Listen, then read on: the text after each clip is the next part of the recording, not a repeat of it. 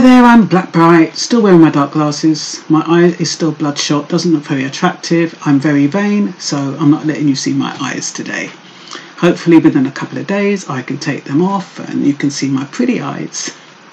Anyway, what am I talking about today? I am talking about this gentrification. Um, there was rumours about Grenfell Tower being a part of that and now last week I um, did that video on Hoxton, you know, where it's being taken over by billionaires and all of those occupants in um, affordable housing are going to be shipped out and moved out of the area to make race for make way for billionaires. Well, in Tottenham, they've got a few leisure centres. I think there's only a couple left. And I got an email that said 399 Tottenham Committee's urgent appeal for Community to Defend Centre from Gentrification. On Thursday, the 16th of January, 399 Tottenham, also known as New Chances, one of Tottenham's last remaining community centres, was unlawfully repossessed by several security forces. I don't know if you remember, um, there was they tried to repossess that um, that club uh, in Stonebridge, Bridge Park. That was it. But I tell you something, I don't think they got away with it. Uh, there was a lot of support, everybody got together, and I don't think they were able to do it. But I, I think that those people, they did have some kind of lease or some kind of document, which meant they were the legal owners, and they tried to take that building from under their feet. Well, this is a bit different, so, but it's still unlawfully repossessed.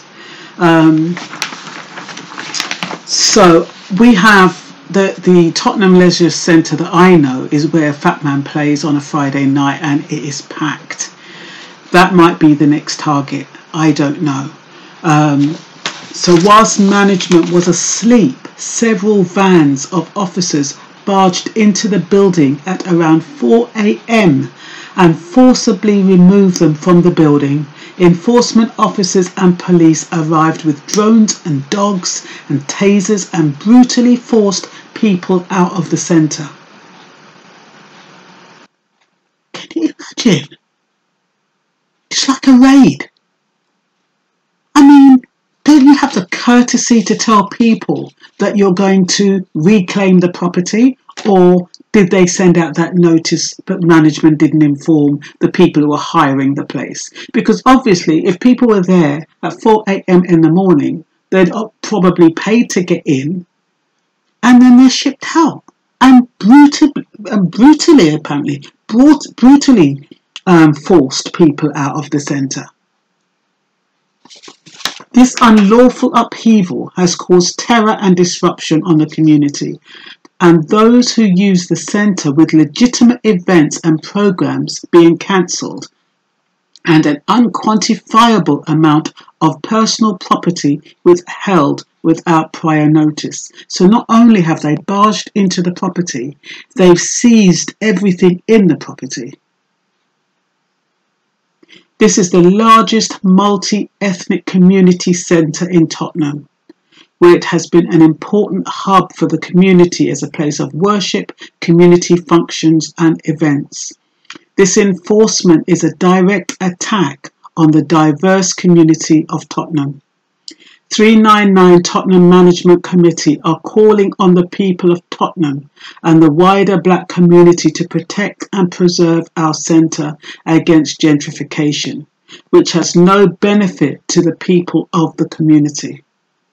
One of the main licensees and occupants of 399 Tottenham Community Centre said the building is currently under attack by the previous trustees and property developers who want to sell our community centre.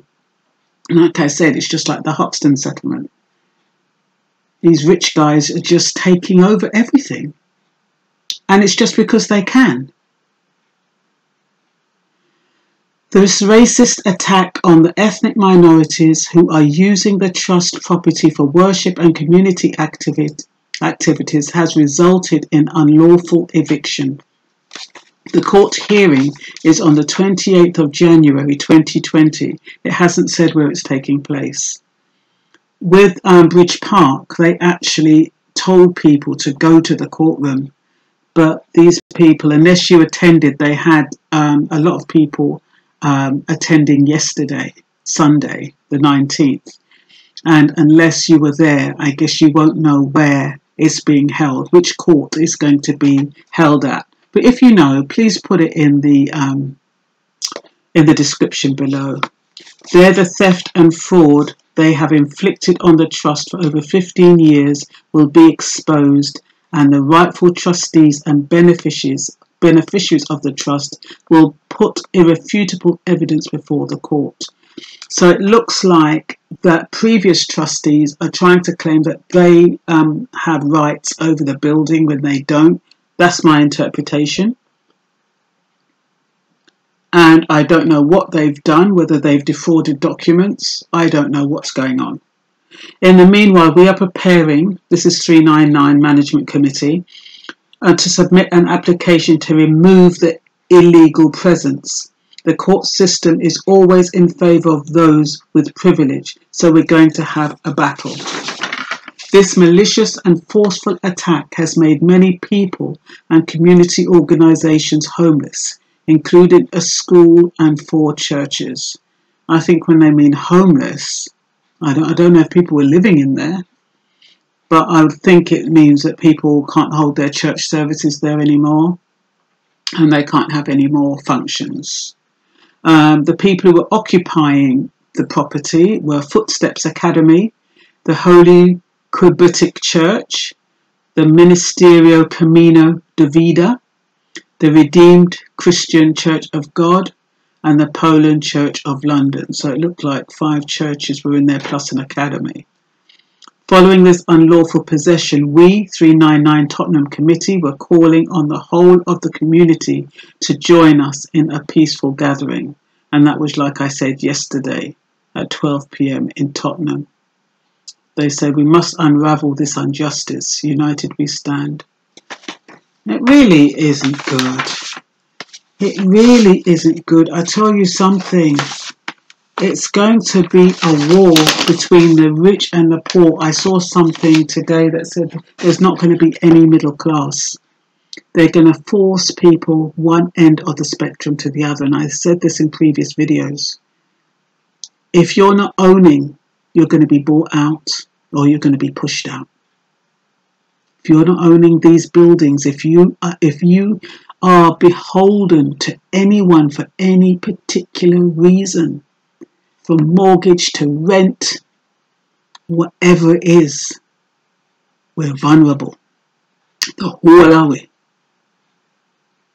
So this is just the start. You know, they don't want white they don't want black people or any immigrants in London. They want that to be the creme de la creme. And slowly but surely, the billionaires are coming in and buying out people and there's nothing that anyone can do about it. With um, the Tottenham Centre, if there is fraud going on and that kind of stuff, well, the thing is, the people doing the fraud, especially when they're rich, they're banking on the people who are fighting and not to have the funds to carry it through. But you never know. You get one of these no win, no fee, and you get a good solicitor who's willing to take it on and who can see the deception it might be worth a case taking on. So that's all I wanted to share with you today, peeps. Bye bye.